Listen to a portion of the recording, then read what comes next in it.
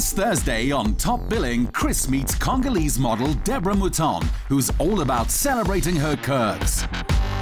Cherries are red, but Chris, yeah. what are you doing here? What are you talking about? Uh, I don't think they have your size in here. Look, I came to come visit you. You asked me to come. no, no, no. You're on your own. Don't miss Top Billing this Thursday night at 8:30. Repeat Sunday at 1. SABC 3. The stage is yours.